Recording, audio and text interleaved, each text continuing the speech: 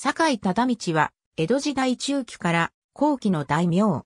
播磨姫路藩第三代藩主。雅楽頭系坂井家十六代。第二代藩主、坂井忠実の長男。完成二年、十二歳の時に、父の死により、家督を継ぐ。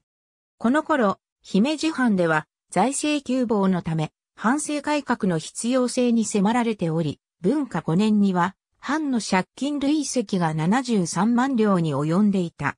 父、忠実も河合道の海を登用して、藩政改革に臨んだが、藩内の反対派によって改革は失敗し、道の海は失脚した。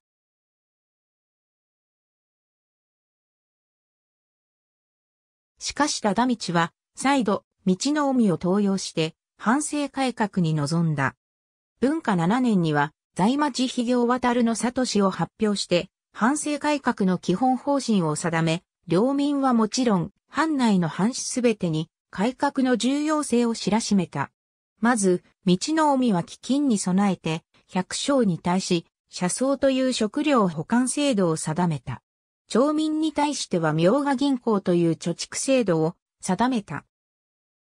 さらに養蚕所や織物所を半直轄とすることで、専売制とし、砂糖きびなど希少で高価な物産の栽培も奨励した。道の海は特に木綿の栽培を奨励していた。木綿は江戸時代庶民にとって衣服として普及し、その存在は大変重要となっていた。幸いにして姫路は温暖な天候から木綿の特産地として最適だったが、当時は木綿の売買の大半が大阪商人に牛耳られていた。道の海ははじめ、木綿の売買権を商人から取り戻し半直轄するのに苦慮したが、幸運にも、忠道の蜂を、中学の性質が第十一代将軍、徳川家成の娘、清姫であったため、道の海は家成の後ろ盾を得て、売買権を半直轄とすることができた。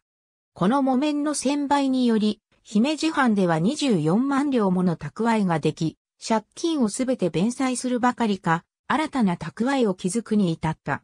文化11年、38歳で弟の忠実に家督を譲って隠居し、天保8年に61歳で死去した。ありがとうございます。